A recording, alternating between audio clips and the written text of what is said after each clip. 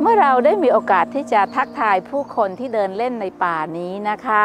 เราจะเห็นว่าวงศาคณาญาติเกิดขึ้นไม่ยากเลยค่ะ ผู้สูงวัยพาเด็กๆมาเดินเล่น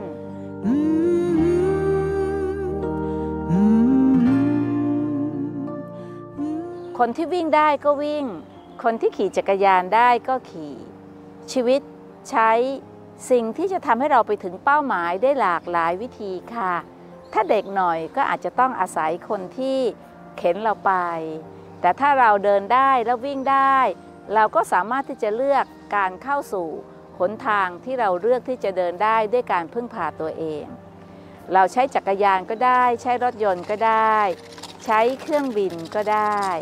สิ่งเหล่านี้เป็นทางเลือกที่คุณจะเลือกใช้อะไรก็ได้ค่ะ แต่คุณต้องรู้ว่าชีวิตของคุณต้องมีเป้าหมาย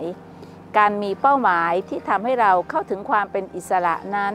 ก็จะทำให้เราเป็นมนุษย์ที่แท้ไม่เป็นแค่เหยื่อค่ะ เมื่อโลกมากระทบทางตาหูจมูกลิ้นกาย แล้วมีอารมณ์มากระทบใจ ให้คุณรู้ทัน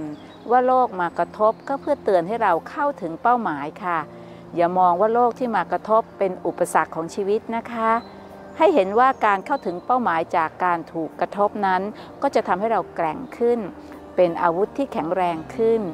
ขอให้คุณเดินทางถักโลกด้วยธรรม และปลอดภัยอย่างคนที่ประพฤติธรรม เมื่อใดที่คุณมีธรรม ในขณะที่คุณกำลังเดินทาง ธรรมก็จะคุ้มครองคุณค่ะ ธรรมะสวัสดีนะคะ ในใจฉัน ในใจฉันในใจฉันฉันมีความสุขร่วมธรรมะสวัสดีโดย MK Restaurant